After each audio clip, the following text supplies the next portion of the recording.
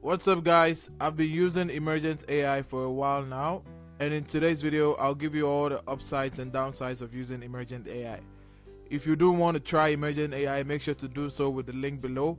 Now before we get started, I want you to understand that Emergent AI is an AI native development environment that uses multiple AI agents to automatically generate, test, and deploy full stack web and mobile applications from natural language prompts.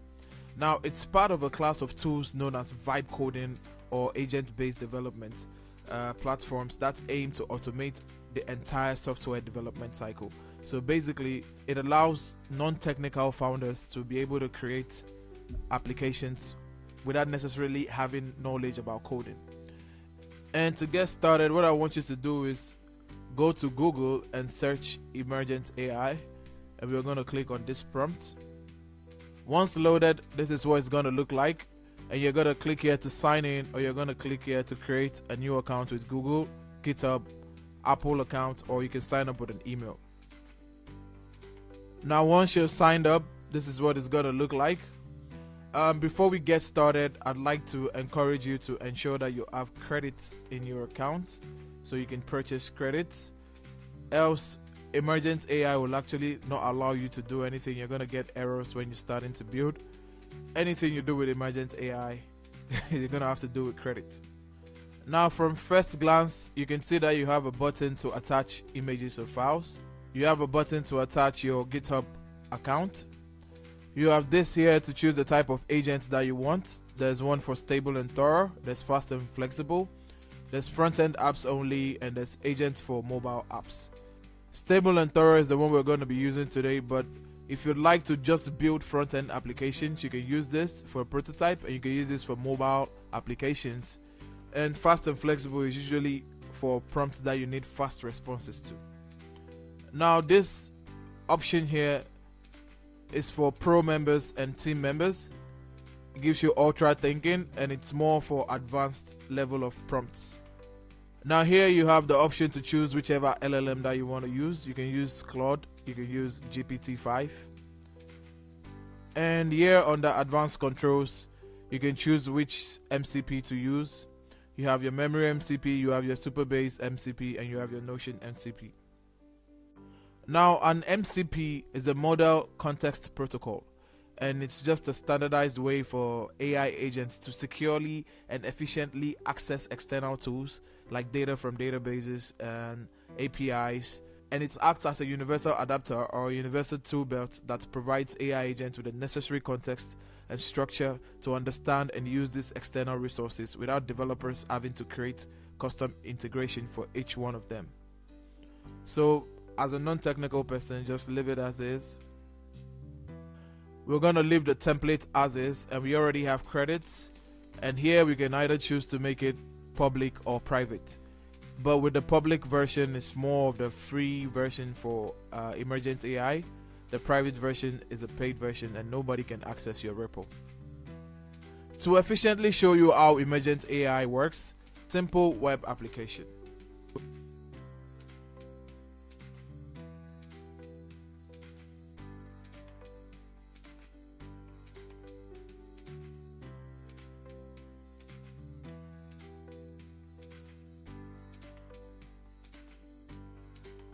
ingredient uses an LLM to suggest recipes with steps and nutrition, include a simple UI with input form and output display.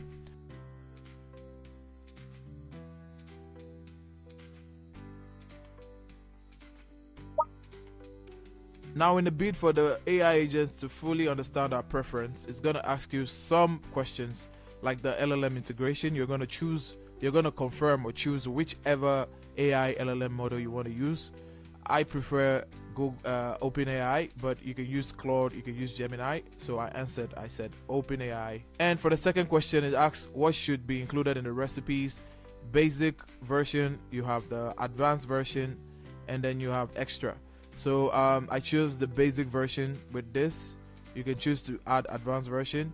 And for the third question, it asks for the user authentication uh, I don't need a user authentication, but what this basically does for the A is that it allows the applic- uh, it allows the AI agents to create an application that uses JWT, that's a JSON Web Token, to create a username and a password for you, and that's very secure. So if you need a secure application, you should choose this. This is an emergent Google social login where you can click on an icon that lets you log in with Google or it says C is not required. I don't require it. And for the last one, it's a UI style preference. We're to click on enter and see what it comes with.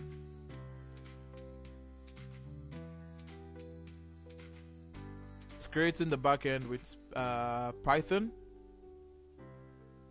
And here you can roll back and tell the agent to stop creating this if you have a preferred uh, stack or language that you want to use.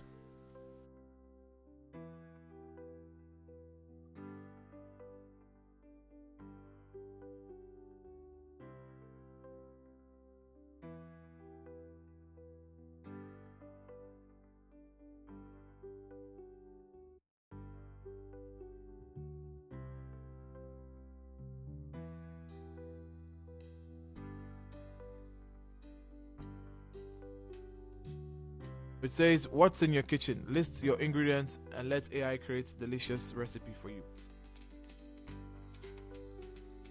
So you see the AI agent recognizes that there's an error and it realizes that the recipe didn't generate. So it's going to check the backend logs to see what happened and then correct the error. And once you click here, you can see that the error is here also.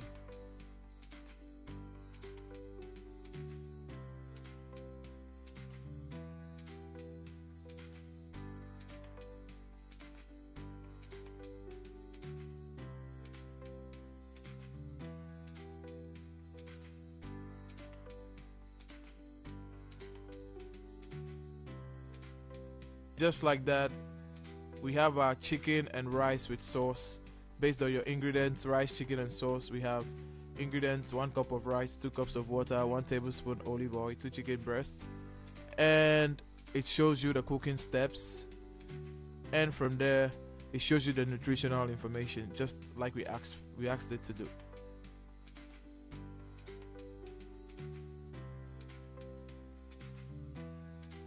and here it prompts that the app is working beautifully. I can see that the recipe being generated with ingredients and cooking steps. Let me verify the nutrition information is also displayed by scrolling down a bit more. So says the page has been reset. Let me check the database to see if recipes are being saved.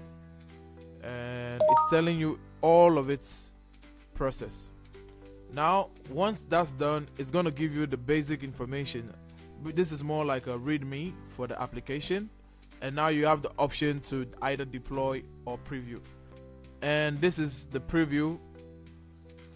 Now if you want to see your code what you can do is click here. And you can see the link and the password. You're going to copy the password and you can open in browser. And once that's open you're going to paste your password and submit. Now if you're non-technical you might not understand all of this but it has a front-end folder and it has a back-end folder. And this is the um, code base that you can copy and give to a developer in the future for improvements or if you'd like to you know keep it and ask the AI agent to improve for the future you're gonna keep this. It has all of the files that it created. We're not gonna deploy this app just yet because we might have some changes but once you want to deploy you want to make your app public you're gonna click here and people are to be it's to provide you with an with a link that people are going to be able to access your application with. As you can see, it ended at 4:39 p.m.